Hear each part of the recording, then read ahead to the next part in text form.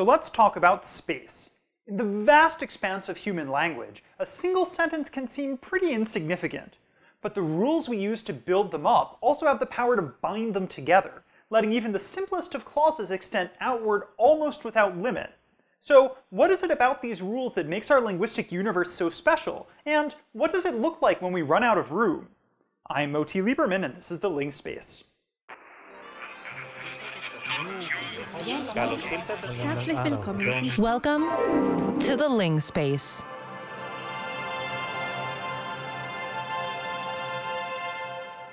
Simple sentences are made up of a single clause, and so they group together just one subject and predicate at a time. So you've got sentences like, Detective Miller is looking for Julie Mao, or Amos doesn't trust him, each one with a subject that the sentence relates to, and a predicate that goes on to say something about that subject. Of course, like most things, sentences aren't always simple. Many languages have words like and, or or, or but, which are able to coordinate phrases that share a category. So these hook up two noun phrases, like in James and Naomi, or a couple of verb phrases, as in make yourself useful or get off the ship. Those kinds of words work on full sentences too. We can take some of our simple sentences from before and just string them together as long as we want, or at least until we run out of patience or lose our place. This way of mashing together sentences is probably pretty familiar, but there's another deeper way that we can put them together too. It turns out that subjects and predicates can actually contain clauses themselves, and those can have their own little subjects and predicates inside, like Russian nesting dolls. And this is thanks to one of language's most defining characteristics, recursion. Simply put, something is recursive if it somehow contains or makes reference to itself. So, like those dolls, or a triangle made up of other triangles. Language is recursive because the rules that construct sentences can loop back on themselves. A phrase like up on the bridge has one prepositional phrase nested inside another. And English has a lot of complex verb phrases too, like having been discovered.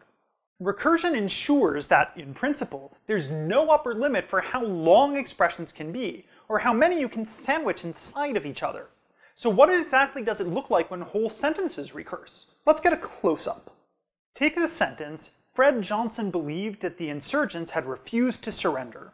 One way to describe its structure is to just stick one full clause, or tense phrase, inside of another. The snag here is that there's no room left over for that. It's not really part of the verb, and it can't really be part of the tense phrase either, since that the insurgents had refused to surrender can't stand alone as a sentence. That doesn't really have anywhere in the tree to call home. In order to make room for this class of word, linguists have supposed that embedded clauses actually come packaged inside CPs, complementizer phrases that serve as living quarters to complementizers, which is what we call words like that, whether, and if. These complementizers act as a kind of interface between the verb above and the clause below. They encode information about whether the clause is making a statement by using that, or posing a question by using whether, as in, Fred Johnson wondered whether the insurgents had refused to surrender. Verbs that embed complementizer phrases can even have different requirements about whether or not the clause that follows them has tense, as in, Fred Johnson wanted for the insurgents to surrender, with for in place of that. CPs then give us just enough leeway to explain how we can embed sentences, without having to make any big changes to the X-bar theory that we've been developing so far. And they often live inside verb phrases, as one of the ways a predicate can contain a clause. But it isn't only after certain verbs where we find these sorts of so-called complement clauses.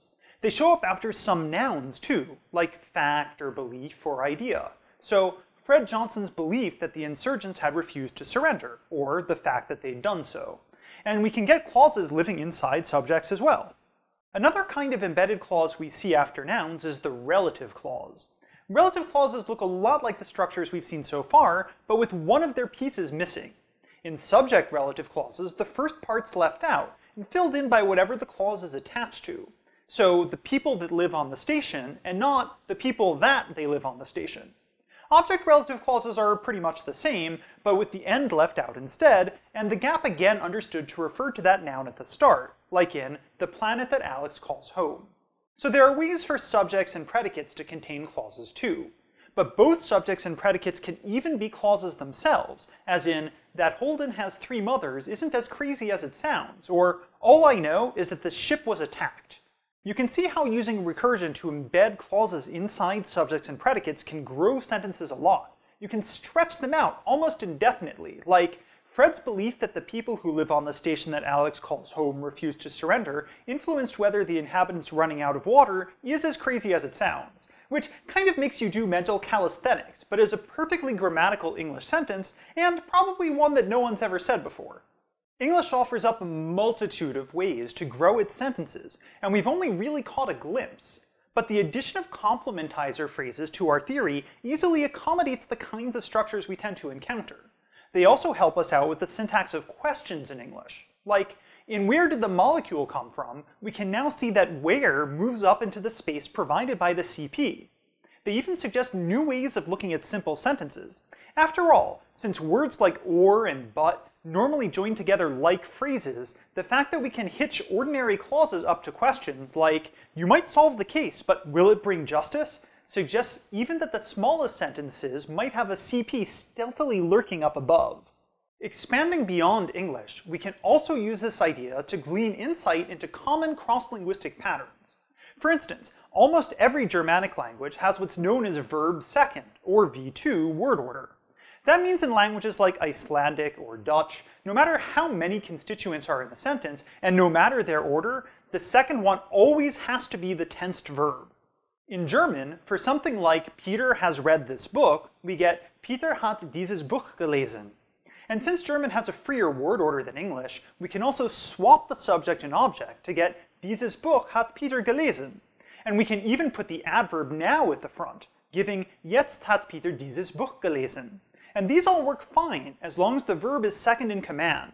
In sentences with multiple verbs, like he must have earned money, almost all of them wind up at the end, but the leftmost modal must is always in the number two spot. So since we usually think of our sentences as being built up out of rules that make reference to structure, and not ones that have to count words, how might we use CPs to make sense of all that? With just a tense phrase, we could suppose that German's mostly like English, but that either the agent or the theme of the verb can become the subject of the sentence, with the other one staying behind. So either Peter moves up or this book does. But it's harder to explain why an adverb should be able to grab this spot too. Typically, subjects represent one of the participants in the relationship described by the verb, not some optional add-on. With complementizer phrases, another explanation presents itself. If instead, tensed verbs always start off grouped with the other verbs at the end of the clause and then move up into that C position, it's easy to see why they always come in second. With the verb in its place, either the subject, the object, or an adverb then snag that front seat. If all German sentences are CPs, and German CPs are built always to stick verbs into the second part of the tree, V2 word order comes for free. German sentences then turn out to be a bit like English questions, where the verb always moves in front of the subject. The only difference is that on top of the verb, instead of a WH word like who or what, German can move nearly anything there that it wants to, and this becomes the topic of the sentence, like we talked about in our episode on information structure, explaining why we find not only subjects and objects there, but adverbs too. Best of all, this idea makes a specific testable prediction. If anything can block the verb from making its way up the tree, V2 order should be impossible. And sure enough, when the sentence is embedded inside of another one, like in, he sees that Peter has read this book, all the verbs are shuffled over toward the end.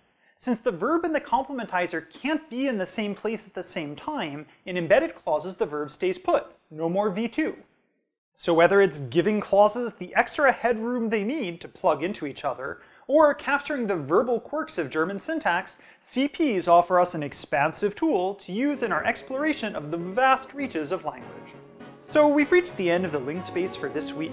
If you expanded your understanding of clauses, you learned that the property of recursion lets us put just about any structure inside of itself, including fully formed clauses.